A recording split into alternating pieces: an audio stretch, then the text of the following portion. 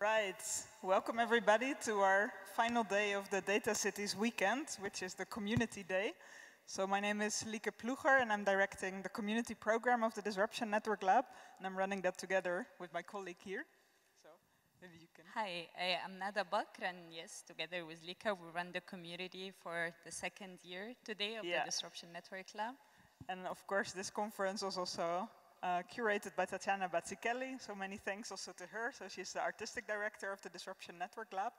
And yeah, today uh, we're gonna try out this first time, this final workshops day, so following on the main conference, because we want to connect today the topic of the Data Cities Conference with the work of uh, communities, activists and initiatives that are here in Berlin, but also abroad. So in this way, we're extending our usual meetup program, which Nada will talk a bit about later, and we want to focus on sharing skills, tools and strategies to work with data and technology in creative ways so we can shape the kind of city that we want to live in in the future. So the program of today, um, we will start first with an artist talk by Simon Weckert, especially focused on his Google Maps hacks project, but also around his methodology in general. And then we continue with a series of afternoon workshops. So there will be four different workshops happening. The first one is not happening in this space, but in a space nearby. And this will be Smash Your Filter Bubble with the community of the Tracking Exposed project. So we're going to work on exposing the algorithm behind YouTube. The other workshop here happening in the space is on uh, visualizing control and critical mapping, which is with River Honer, who was also a speaker on Friday here at the Data Cities conference. Um, then there will be a workshop happening upstairs with Felipe Fonseca about reuse, recycle and repair, hacking waste management for the smart city. And finally, the fourth workshop will be with Elisabeth Calderon-Luning and it will focus on working out a data manifesto for a smart city. Um, and then at the end of the day, so this will be the whole afternoon, we will come back together with all of us and we will hear what's been happening in the workshops and sharing our experiences and outcomes. Then um, just to remind you briefly of the, the safety rules around this event. So we're very happy to be back here at Studio One and to do the event here together. But of course we have to be careful to keep the distance, wear the masks when we're walking around. You can disinfect your hands, there are some hand sanitizers everywhere. And uh, also we would like to ask you that when there is a break that you leave this room.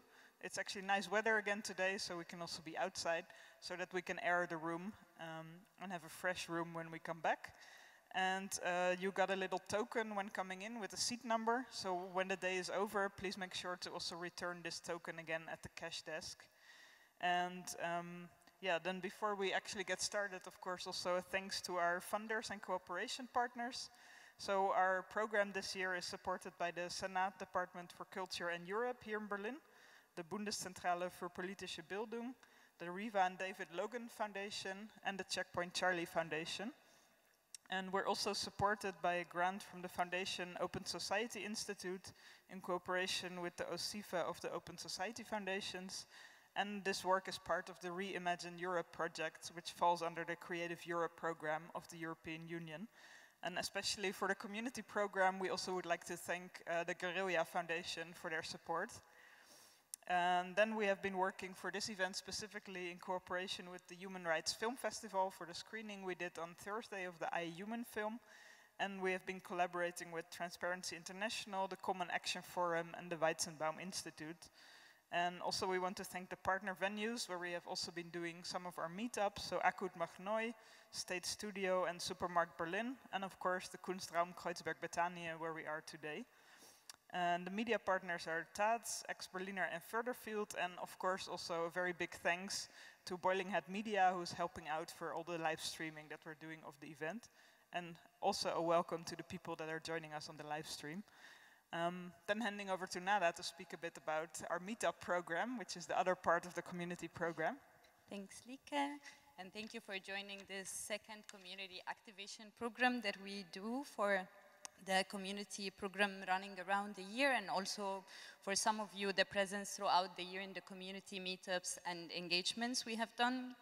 At the beginning of this year we had to close our program in March on the ground after our first meetup at ACUD and we immediately kind of reviewed the program and our practices in community building, looking into how and what we could transfer to do online, uh, ongoing, um, to keep the connection with our community And from the beginning of this crisis, we have been anticipating the topics that we, the community and the Disruption Network Lab has been working on has become very more relevant than ever and excessively amplified with the crisis. Also, once the crisis erupted into a global pandemic, we have seen fragility of systems that built on capitalist profit and not based on public needs of health or common care.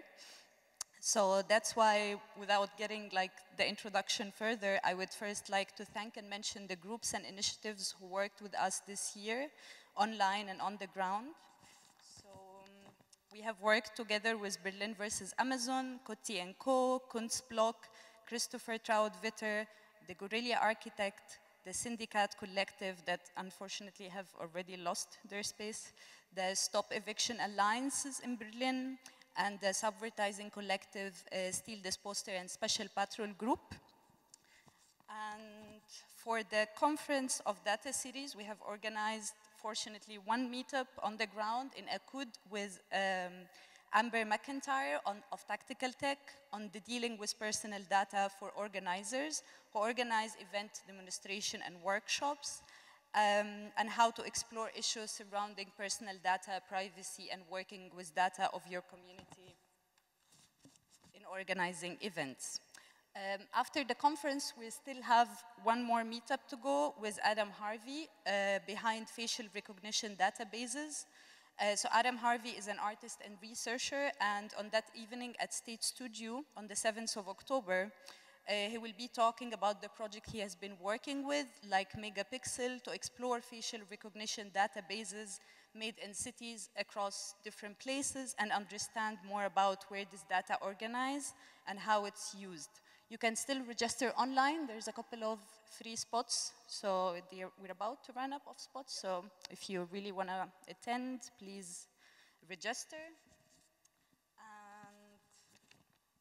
then I think we. Yeah, I think we like we look forward to continue yeah. with this year and the next year building community in whatever way we will do our events. Let's see how the events unfold in the upcoming months. Um, despite the fact that being here in the room, even with all the limitation, is definitely an irreplaceable experience for us.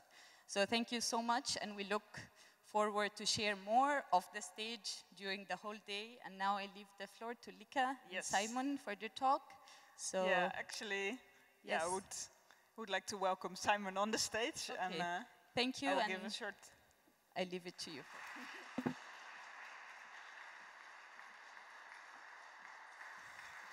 Yeah, so I'll introduce briefly uh, Simon Weckert, who we're very excited to have with us today for the opening artist talk, which we hope can serve as inspiration for the day of workshops that we're about to do. So Simon Weckert is an artist based here in Berlin, and he likes to share knowledge on a wide range of fields from generative design to physical computing. And he focuses in his work on the digital world, including everything relating to code and electronics, but also under the reflection of current social aspects. So in his work, he seeks to assess the value of technology, not in terms of actual utility, but from also from the perspective of future generations. And he wants to raise awareness of the privileged state in which people live within the Western civilization, and also remind them of the obligations that are attached to this privilege. So the work he will also speak about, Google Maps hacks, was actually quite a lot in the news earlier this year. And also he won the Award of Distinction at the Ars Electronica for the interactive art category. And today we will hear more about the methodology behind his projects and how he works uh, to impact the physical space and creating, as he calls it, some playful mischief. So very much looking forward to that. Over to you. Thank you very much. Um, thank you for having me, first of all. Thank you for the introduction. And also, um, well, basically, also for me, it's quite um, an honor, first of all, to, um, to, uh, to give you today a kind of presentation about um, yeah, the Google Maps hacks, but I was I think my, my aim today is also to give you, say, a glimpse of what digital maps um, means to us and how they changed um, the way how we, how we read maps and how they also basically create word models that we are relying to. And yeah, the title of the of the presentation is um, "The map is not a territory, but uh, just another version of reality." Um,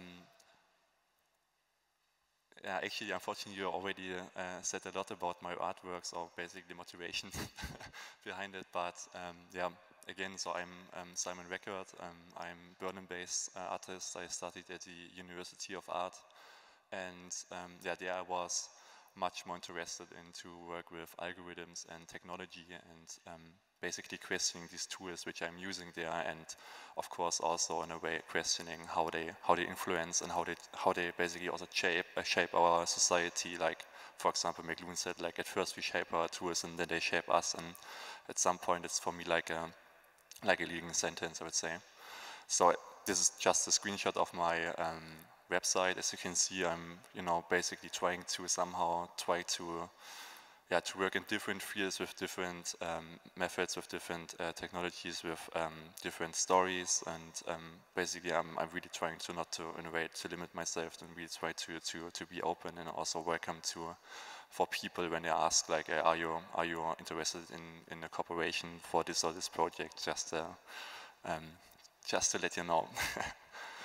so again.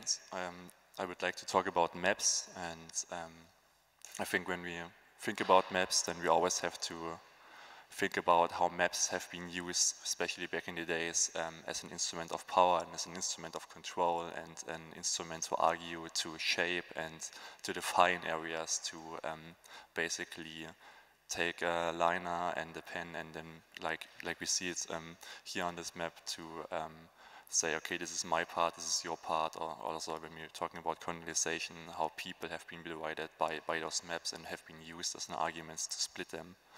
And um, so it means that maps are like such a powerful, such a such a strong, let's say, uh, tool and instrument to um, to represent a specific worldview, and of course also to make politics with it.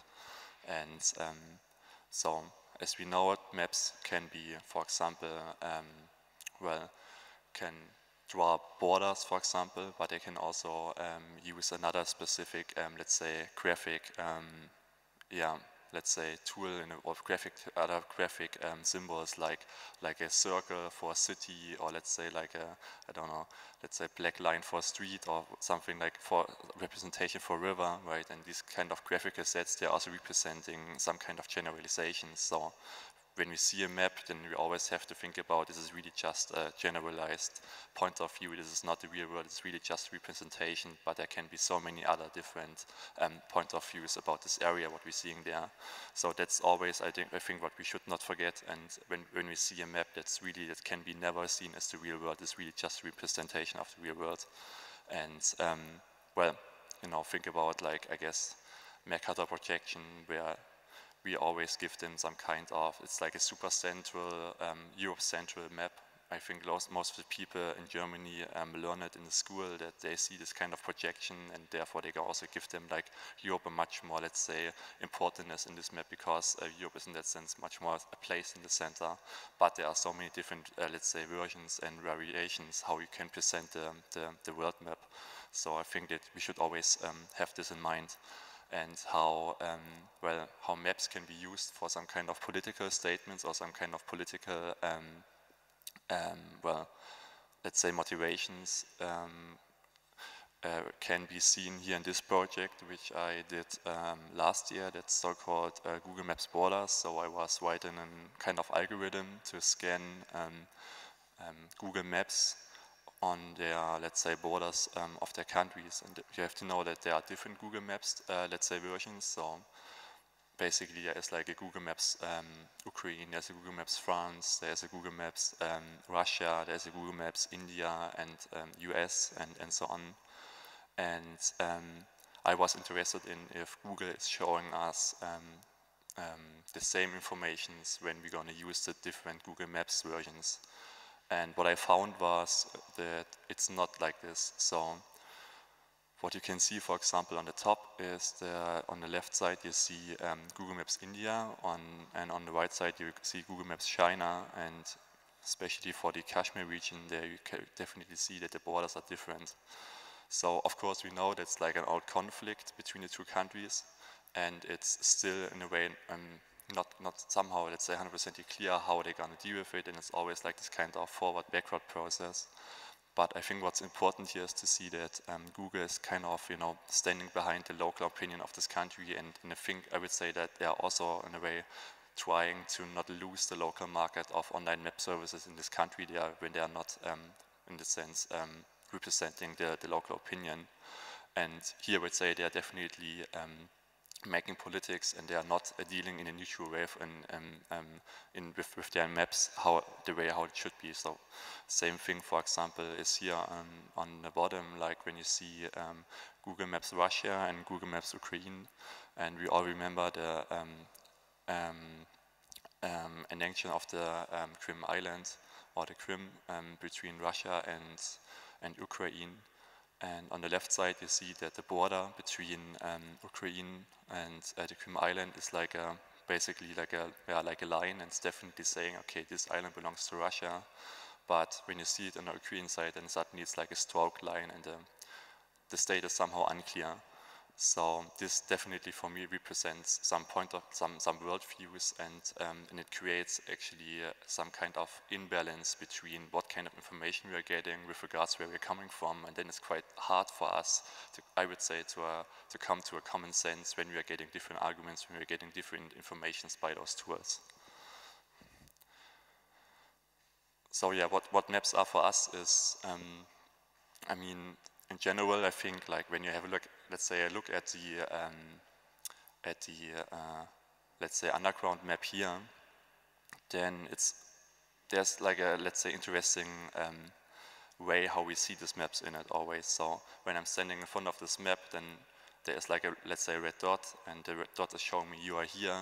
So basically, I'm pointing to this map and saying I'm there, but at the same time, I'm pointing basically through this map on uh, um, to myself that I'm here. So this basic, I'm pointing on myself in the map where I am. The problem is with maps in general that we always don't know where we are exactly when we don't know where the map is um, located in our physical space and therefore we need, for example, GPS um, orientation systems or compass um, tools to, um, to locate this map in, uh, in the world we are living. And um, I would say that, or maybe that's the aim of every cartographer or let's say person who are creating maps is that they are trying to make the map, let's say, detailed as possible and with every edge, with every corner, so to have really like a, let's say, one-to-one -one representation of the real world. This comes quite close um, to the um, idea, for example, Umberto Eco, he was uh, writing about it, that he had the idea of a map which comes in dimension one by one, meaning that this map is exactly the same, um, exactly in the same, um, let's say, size like the Earth or like the globe is. And he was imagining a map which is like a sec, like a like a second or like a let's say transparent, um, invisible, or not invisible, more like a like a layer uh, onto the surface which you can unroll and then basically you can work on it.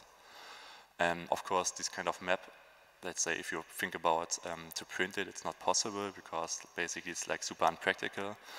Um, but I would say that today's online maps, like Google's maps, they are, I would say, pretty good um, representer of this idea. And and we can make them visible with our smartphones. So the smartphone, so to say, is more like a window. It's more like a like a tool to, to make this kind of transparent hidden layer um, of, a, let's say, a virtual or um, invisible map um, uh, visible.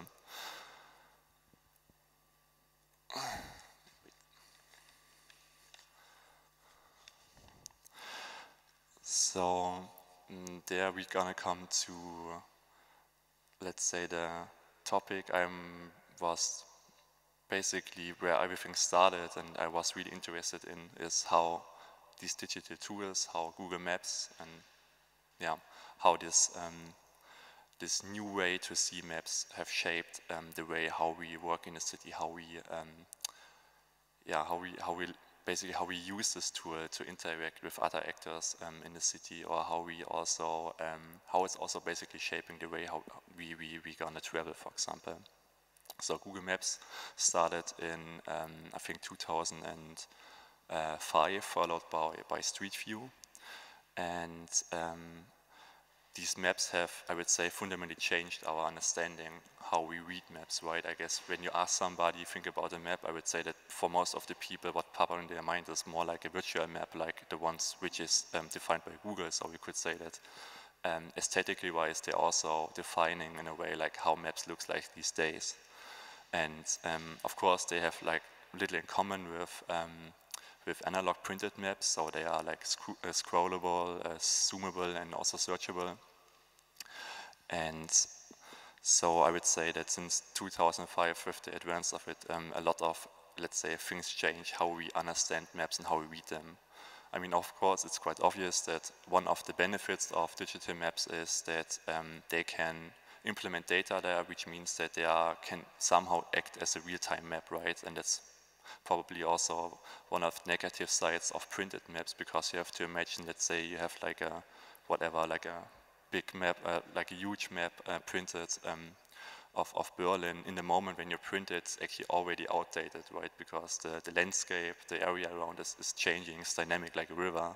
And in that moment when you print or when you create something like this, then you cannot, you can actually never say that, that this map is the, is the current state. So it means that maps can, helpful, can be helpful for us, but can be for, for a short period of time, but can also limit the use of, of these maps, especially when they are printed. And I think that the, the, the, main goal of Google Maps is to overcome this state and to say like, okay, here, look, right now we are creating a tool that doesn't come with this kind of outdated uh, situation anymore. It's, it's, it's kind of a representing of the, of, the, of the world around us, a real, real-time representing of the world around us. Um, so unfortunately, as uh, technology likes us, uh, sometimes it doesn't like us, um, the uh, codec didn't work um, for the presentation. So here I would like to show you the Google Maps hacks, maybe also for the one who,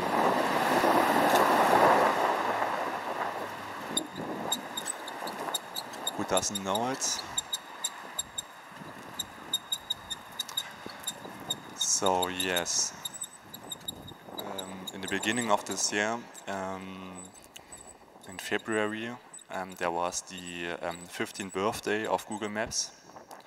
And uh, one week before the birthday, I was um, pub I, I, published uh, this project on Twitter.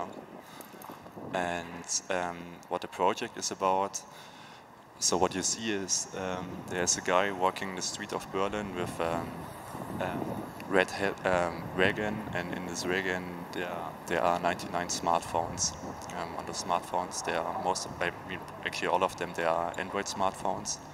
And uh, what's happening is that um, when you're walking alongside the street, forward, backward, and sometimes also a bit um, faster, sometimes a bit slower, then um, it generate, generates some virtual traffic on Google Maps. And this had the effect in the moment that people which are using Google Maps navigation system are being linked around um, around me or about this guy.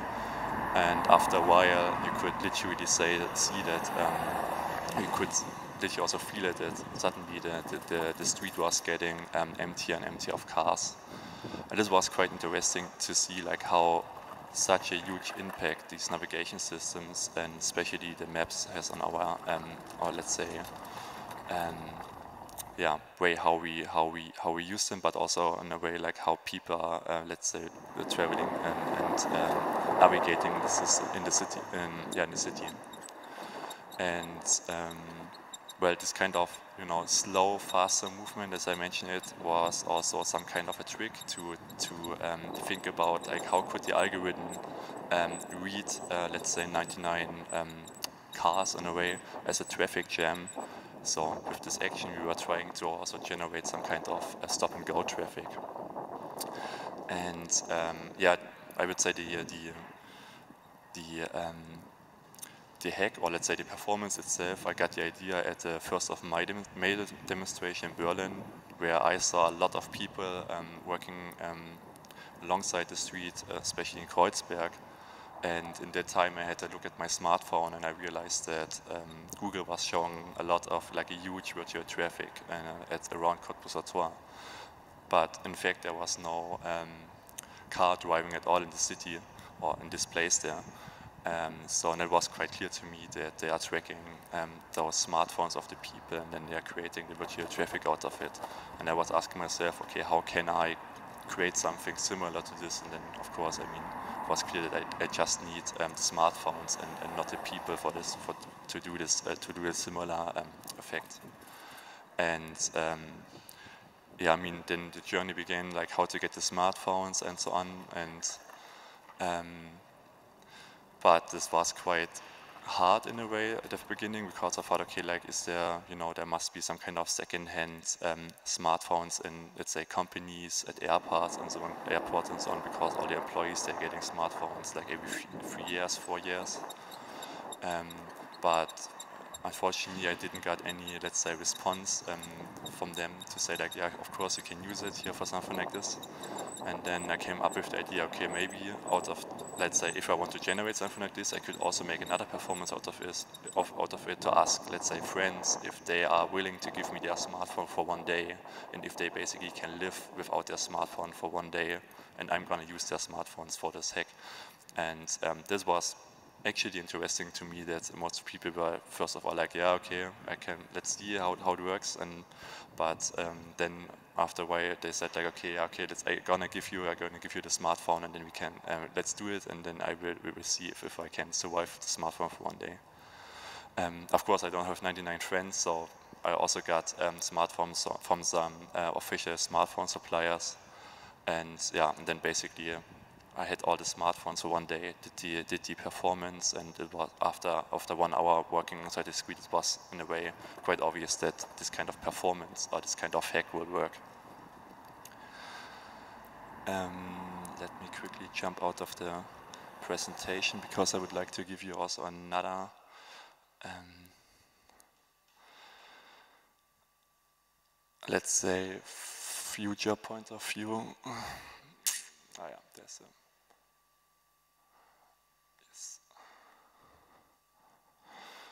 So maybe as an um, let's say future point of view in that sense, like how I could imagine, or also as it can be also already seen, like how Google is, um, let's say, trying to optimize and trying to work on their tools in a new way. I think the keyword here is the so-called personalized routes.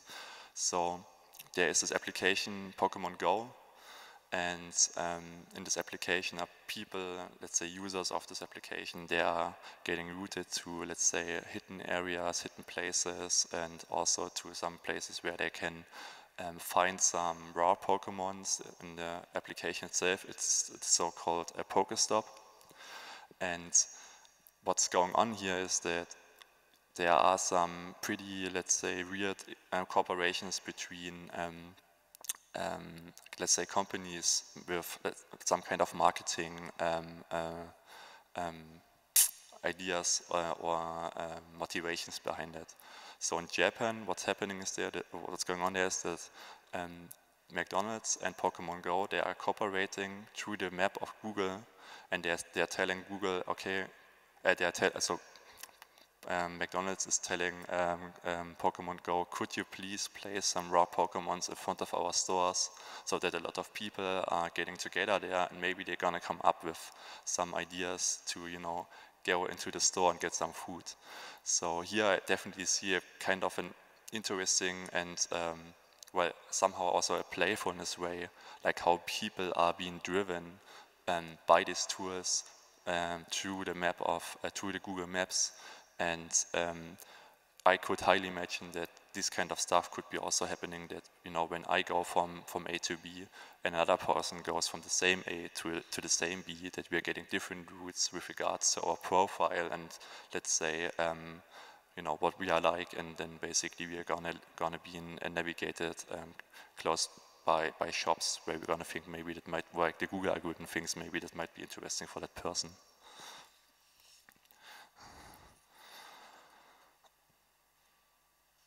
Um, so yeah, and then maybe as a, as a last, because I guess then we have one minute left, as the last few words, I mean, I would say that as a conclusion, it's quite obvious, of course, that we're gonna have, we're gonna have to trust this, this, these maps, we have to trust this kind of, let's say, transformation system where a lot of uh, informations are being gathered together and they're gonna come up through those maps um, as a kind of represented, uh, visualized, um, um, well, let's say, tool in a way. But for me, it was interesting to see like how we trust on the one hand um, this tool, but on the, others, on the other hand, it was creepy to see how easy it is to hack this tool and um, how easy it is also to, let's say, manipulate data and how we are then being shaped by this data when we are working in a city. And um, I think this gives, I would say that, let's say, art performance like Google Maps should somehow, let's say, open our eyes to um, how we think, let's say, um, objective technology um, is, and I think it should always, it should somehow also raise the question, um, like that we should not always trust these data. We should always kind of questioning this kind of um, technology in a sense when fighting for an array lot as well, like like that it's going to be transparent and that we always get a, let's say, I don't know, idea of where this data comes from. Um, yeah, and I would say that's that's pretty much it for the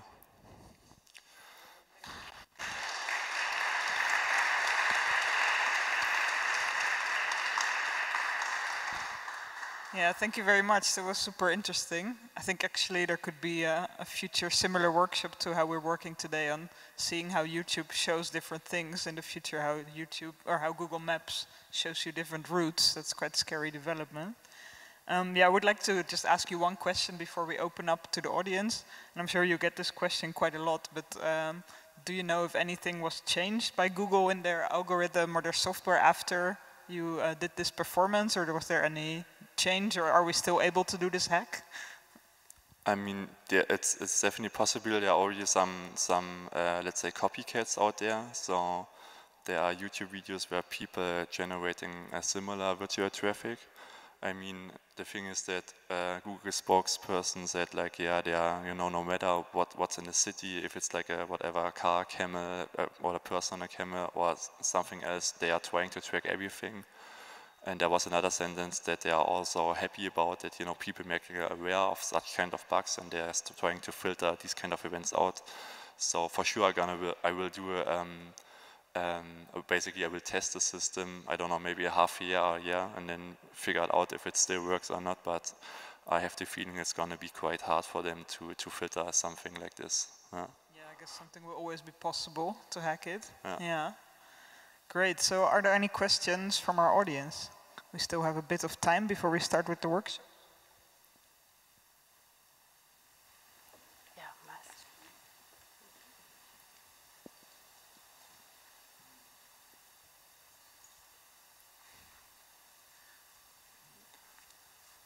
So um, just a technical uh, question about the act you have done on uh, Google uh, Maps. Um, you, the 99 um, cell phone should be on Google, like, or just uh, with GPS activated, or um, um, yeah, exactly. So yeah, you have to activate. I mean, of course, right? There, there are three three different ways um, how smartphones can be tracked. So I would say the most accurate is GPS. Then you have, let's say, the network um, location system which works over um, antennas in the city. It's like a triangulation calculation, and then you have Wi-Fi. And um, I enabled all, all, three of them. Um, and then the thing is also important to mention is that it didn't I didn't have to open Google Maps on the smartphone. It was literally just um, Android. Um, I mean, probably it works better when you have Google um, Maps running as an application on the smartphone but um, for sure they are also tracking you when you don't have it um, running Google Maps. I think there was another question here in the front. Thanks for the talk. It's really that was really interesting. And I've got a question. You, you were mentioning copycats or copy kids. Yeah. Uh, anything interesting you've seen there coming up on YouTube? People, you know, elaborating on your idea and maybe you know giving you a new angle on, on what you what you started there Um, I mean, of course, there there had been some people mentioned like, um, I mean, I got a lot of, let, let, me think, I got some kind of ideas where people thought, okay, it could be interesting to use it also in another way. Um, I mean, not from the guys from YouTube, they are literally were trying to, um, well, you know, to simulate that. But of course, right, I mean, you have to imagine like this, I mean, are Google alg algorithms also learning, um, let's say that when there's a traffic on, uh, going on every week on the same time, then after a while it will also predict that in a way.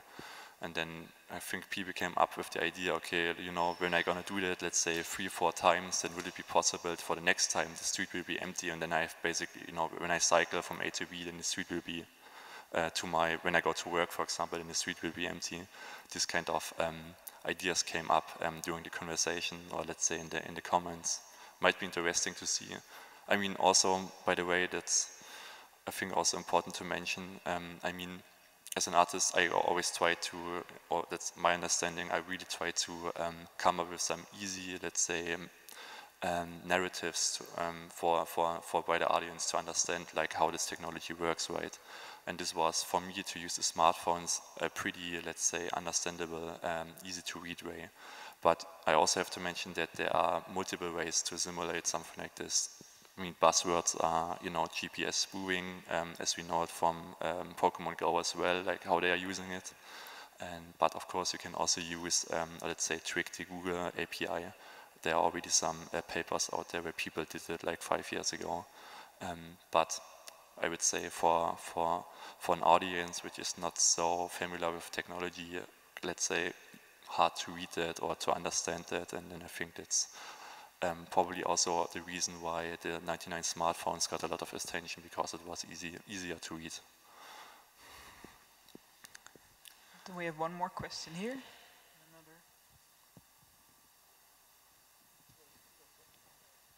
Uh, yes, I wanted to ask you if you thought uh, the way this uh, kind of hack could also be used in political activist terms.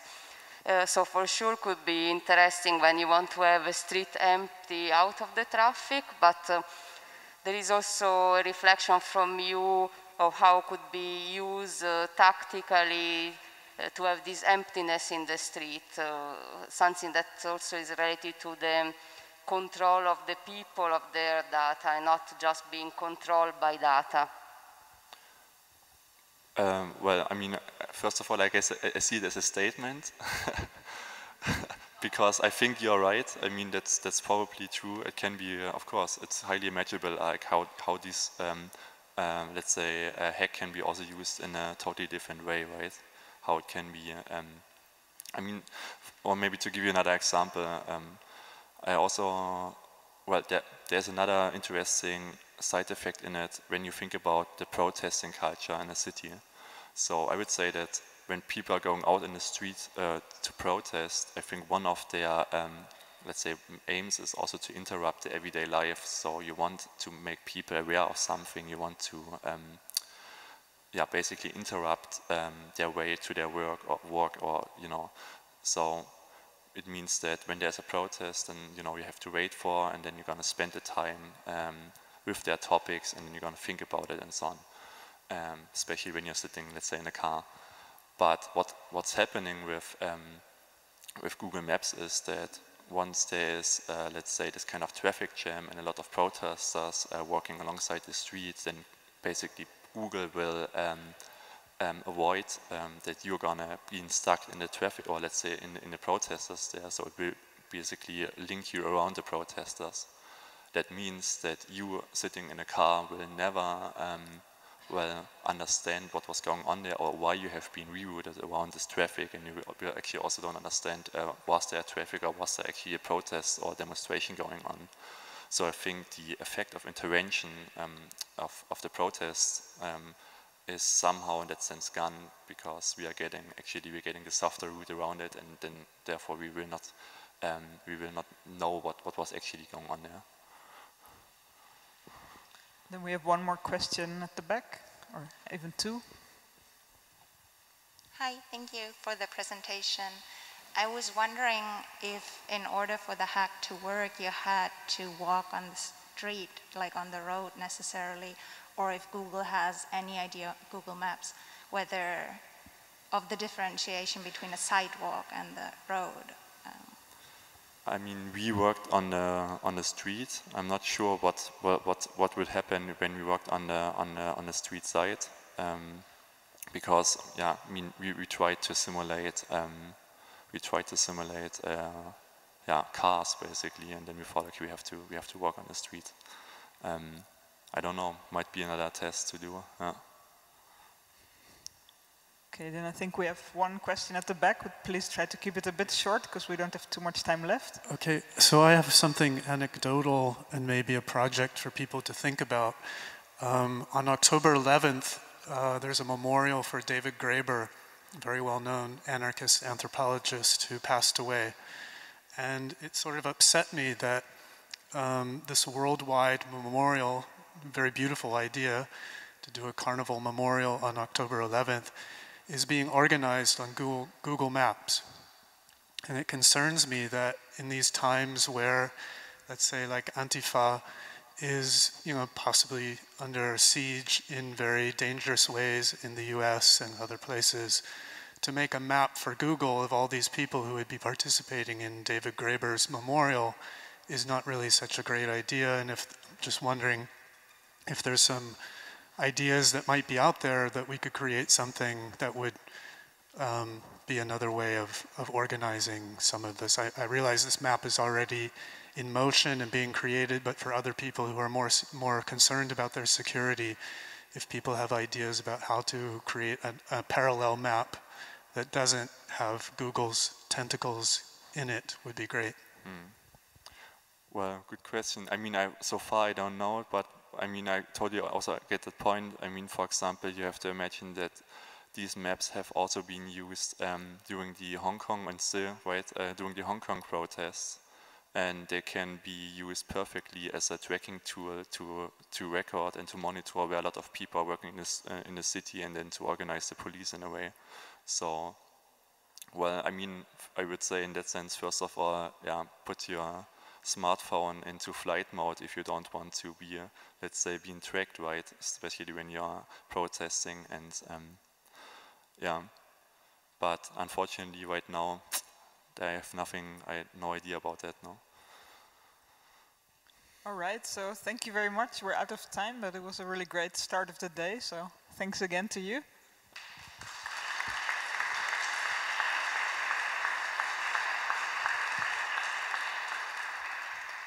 Yeah, and then we're going to get started with the workshop program of the afternoon. So uh, we have four different workshops happening. Uh, the first workshop uh, with the community of tracking exposed will actually be happening in another space nearby, in Moritzplatz.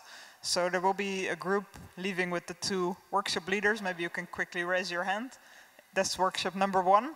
So they will be uh, walking to the space together. The other work